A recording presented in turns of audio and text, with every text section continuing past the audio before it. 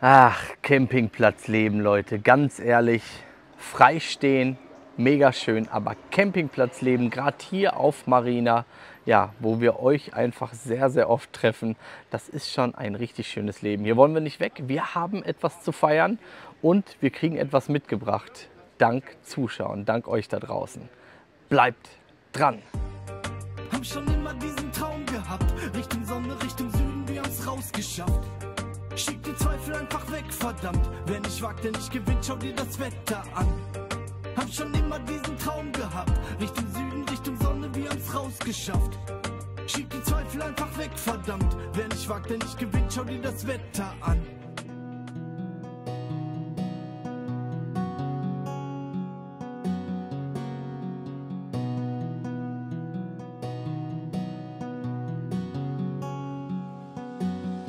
Los geht's los. Mian, was ist heute für ein Tag? Die haben da Geburtstag und Milo. Milo hat auch Geburtstag. Ja, und sie. Und die auch. Birthday to you. Happy Birthday to you. Happy Birthday, lieber Milo. Oh, der Wecker geht. Happy Birthday to you. Aufstehen. Milo, was ist da? Eins, Zwei, drei. Sieh's aus. Wow. Wow, den ersten Konter hilft er mir natürlich, ne? Ups. Das passiert natürlich. ein Kuchen. Ja, Milo, den ersten Geburtstagskuchen. Ja, gestern bis spät war hier große Kochsession, Backsession mit dem Mian. Ich glaube, wie lange habt ihr gebraucht? Danke, Oh, bis danke, 1 Uhr, glaube ich. Bis 1 Uhr. Also jeder kriegt jetzt hier gleich den Zuckerguss morgens. Nein, nein, nein, nein, nein, ist kein Zuckerguss. Ist kein Nein, Zuckerguss. das ist Apfel-Bananenkuchen. Apfel, Bruno, Bananenkuchen natürlich. Ja, hier gibt es ein Geschenk. Packen wir aus und eine richtig schöne Eins. Aber das ist noch nicht alles, was heute passiert. Ne? Was ist das? Jetzt lass ihn sehen. Ach, guck mal, jetzt kann er angreifen. Oh, jetzt Oh, jetzt hat er was gesehen. So, Milo, jetzt zeig mal, was du drauf hast. Ja? Kurze Anleitung, nur den Papa nicht auf die Hand hauen. Ja, und jetzt geht's. Zack, zack. Ja, Super. also auch so kann man Hammer nehmen. Ne? Also von Ja. oben, ne? Das darf man. Ist noch gar nicht fertig. Da fehlt die Eins, da fehlt der Ding. Birthday to you. Happy birthday to you. Happy birthday, lieber Milo. Happy birthday to you. Ja, gemeinsam mit Freunden Geburtstagsfeiern. So soll's sein. Da sind sie schon wieder, die beiden. Ne? Die kennt ihr ja. Ja, was machen wir jetzt? Das ist übrigens hier auch das Teil, ne, Ich Mops? hab's Auge vergessen. Das ist das neue Video. Du hast das Auge vergessen. Er ist ja schon wieder filmreif. Es geht nicht mal ein Tag irgendwas glatt oder sowas. So, da ist sie jetzt. Klar, die Augen fehlen. Schmilzt denn jetzt weg, Mops? Ja. Oh. Direkt oder was? Schnell. So. Naja, okay. Wir machen ein paar Fotos, genießen hier die Zeit erstmal.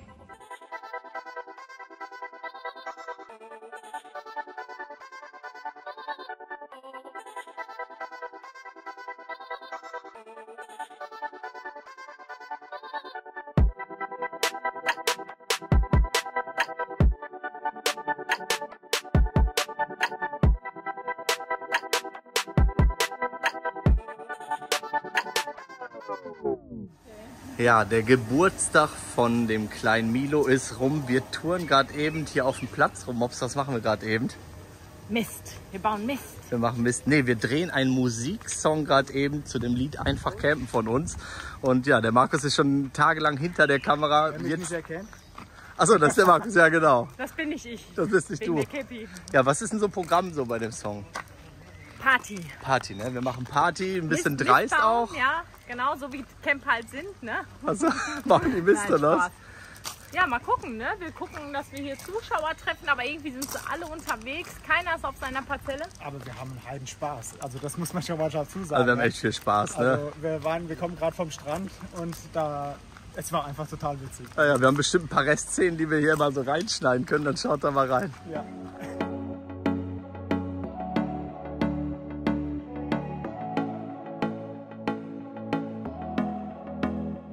Einfach campen. Unsere Tour kennt keine Grenzen. Auf dem Platz sind wir Legenden. Wir wenden den Camper im Wendekreis. So campen. Mit Bravo sind wir am Lenken.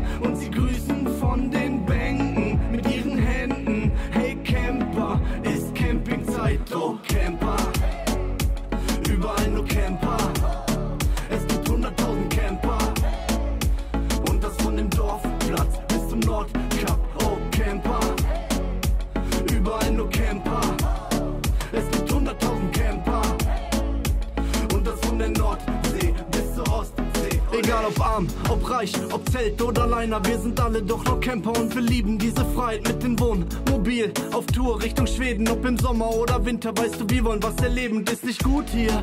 Ja, dann ändern wir die Route und wir machen Kilometer und wir drücken auf die Tube. Hello Sunshine, komm wohl raus, jetzt die Markise und wir lassen uns berieseln von dem Sound, den wir lieben. Wir sind Camper, die Parzelle, unser Kreisel und wir bleiben nicht alleine, weil so viele mit uns reisen, ob zum Nordkap oder früher nach Marokko. Überall sind diese Camper, es ist Campen unser Motto.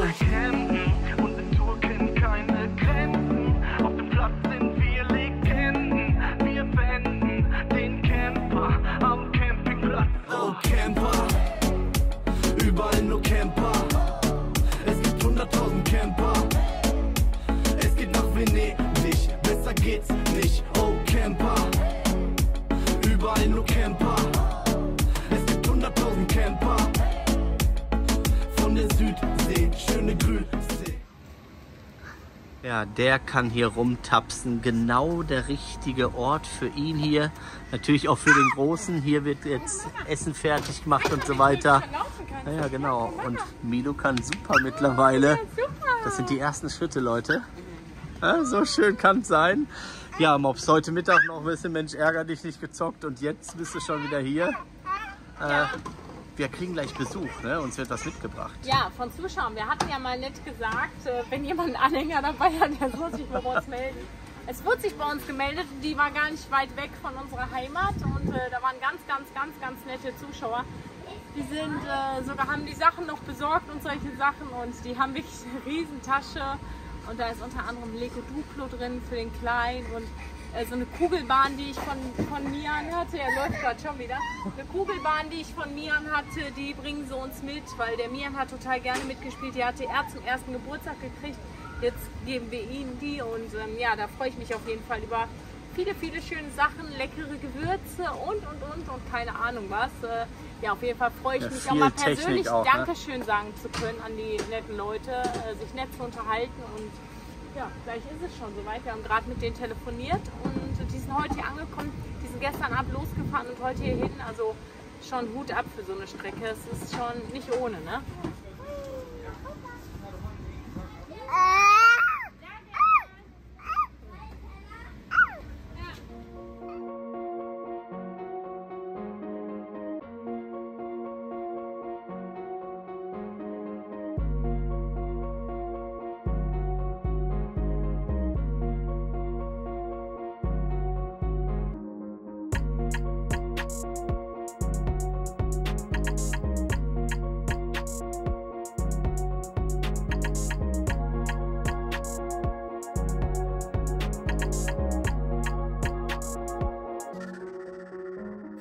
Ja, die Zuschauerin war da mit einer Hängerladung voll. Also sie sagte auch, Leute, ihr habt echt übertrieben so eine Hand. Also wir hatten echt viele Sachen. Ja, unter anderem natürlich jetzt hier ein neuer Sitz, definitiv. Ne? Also wir hatten zwei davon oder haben zwei. Ja, also mit dem Sitz, das war spontan gewesen, weil es war so Mist, wie kriegen wir denn den äh, Sitz hier hin, weil wir fahren nicht mit dem Wir fahren Fahrzeug nicht nach nach Deutschland. Deutschland, genau. Und von daher war dieses, oh shit, und dann fiel ein Jahr, die brauchen wir so langsam.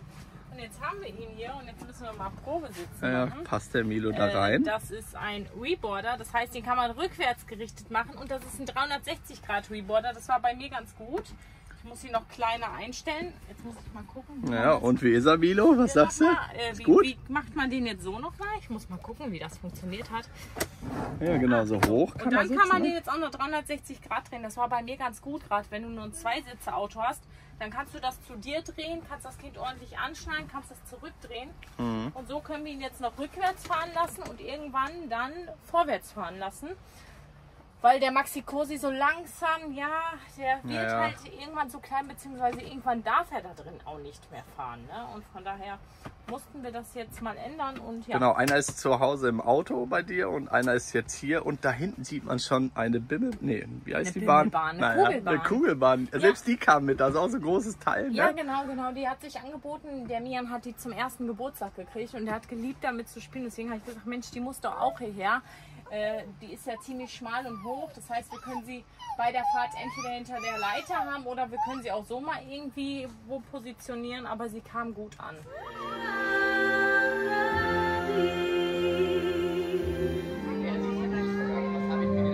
Ich sing diesmal nicht mit, ich mach den Drei, vier. Der Milo hatte ja Geburtstag und wir haben einen Gutschein gekriegt für diese Eisdiele hier. Der Mian und ich sind jetzt vorgegangen, weil der Milo kann ja eh noch kein Eis essen. Und jetzt haben die groß aufgefahrene Geburtstagstorte, die sieht man da vorne. Die holen sie gleich aber nochmal, wenn der Milo da ist. Dann gab es da noch was und einen schönen Eisbecher und eine Krone. Und ich habe direkt schon gesagt, nein, nein, nein, das Geburtstagskind ist ja gar nicht da, weil hier lief jetzt auch Geburtstagsmusik mit Happy Birthday. Ich und Mian haben uns jetzt dieses Eis hier ausgesucht und das werden wir jetzt erstmal essen. Ja, jetzt gucke ich gerade eben. Ich denke, warum ist der Behälter hier nicht so richtig voll? Und ich war gerade eben hier hinten dran, aber da sind wieder so Campergeschichten. Ich denke mir, was ist das für eine Pfütze? Was ist denn das für ein Schmutz hier hinten bei mir drin? Und dann schon so, als wäre Frost dort hinten. Ja, das ist nämlich das Problem, wenn man AdBlue-Behälter mitnimmt. Unter anderem ist es hier ganz schön dreckig. Jetzt fühle ich hier wirklich eine offene Wunde bei mir gerade eben. Ja, das werde ich jetzt mal reinpacken, aber dann sieht man auch wieder, ja, Behälter, den habe ich schon so lange, der ist immer auf Halde. Aber den muss ich jetzt auf jeden Fall hier mal reinkippen, weil irgendwo ist der undicht. Ja, da hatte ich jetzt mal auch richtig Glück, dass ich noch nicht AdBlue getankt habe. Ja, wohin sonst damit? Naja, ich muss jetzt hier erstmal alles aufräumen. Kennt ihr das, die Leute, die durch andere Parzellen gehen? naja, hier ist gerade eben keiner, da kann ich mir das mal erlauben. Es kommt jetzt im Müll und naja, wen ist denn sowas mal bitte schon passiert? Also manchmal ist das doch eine provokante Dauerwerbesendung hier von dir. Was hast du einen Vertrag mit diesem Ventilator? Den ganzen Tag läufst du schon damit Ey rum. Leute, ich liebe den. Der ist einfach Gold wert. Also der rettet uns wirklich den Arsch drin, weil wir haben nur zwei Max-Van, nur. Den Arsch drin, das ist total Aber, heiß ey drin. Leute, guckt euch an, du kannst den so klappen, hier hinstellen, irgendwo hinhängen. Ich habe den schon neben den Kindersitz. Ich lege den manchmal so in seiner Höhe. So, ich kann den hier biegen und brechen und hast du nicht gesehen. Ich habe vier Turbostufen. Der ist einfach super. Und ich bin heute, habe ich den echt mitgenommen, weil es so heiß war und wir mussten da zum Strand für das Video. Ja, aber ein anderer will es doch auch tun. Hauptsache ein Ventilator habe ist so ich hab, heiß. ich hab den mitgenommen so, ne? Und habe mich damit gekühlt. Und er so, ey. Und dann habe ich ihn hier hingehalten. Und er so, oh, ist schon geil, ne? Und jetzt gerade so habe ich den als Film. Ja, ja. Jetzt mal eine andere Sache, Leute. Ich habe hier mal eine Firma. Hier fährt immer eine Firma rum. Äh, da habe ich mal habe ich mal angefangen. Ja, Mops verlinkt immer alles. Ihr kennt das ja. Hier dieses Teil, ne? Das ist mir ja gebrochen. Habe ich ja erzählt. Jetzt habe ich eine Firma angerufen, die sagen, für 60 Euro haben sie die Teile. Es gibt natürlich immer nur zwei, das ist auf jeden Fall super. Für 30 Euro bringen die es hin und für einen Preis von X montieren die es. Ich habe gesehen, die Monteure sind zu dritt, angenommen jeder Fuffi. Ja, sind wir schon bei 240 Euro. Jetzt habe ich die Firma mal gefragt, kann ich die Teile nicht abholen? Und die haben einfach gesagt, ja. Also, mal gucken, ob ich sie abgeholt kriege für 60 Euro. Naja, wir machen uns jetzt äh, schick fertig. Äh, Mops lädt mich zum Essen ein.